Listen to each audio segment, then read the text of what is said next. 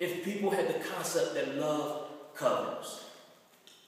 We see here in John chapter 8 that Christ reveals himself to be the light of life.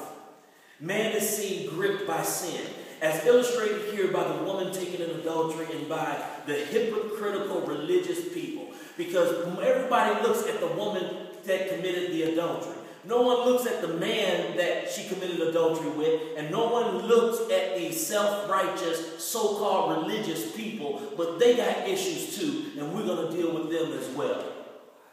Man here is pictured as being critical, condemnatory, self righteous, and adulterous, for every single person has committed sin.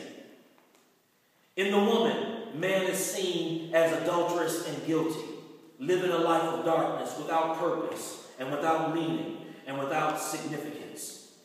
In the religious men we see here, man is seen as deceitful, hypocritical, condemnatory, selfish, self righteous, and loaded down with guilt.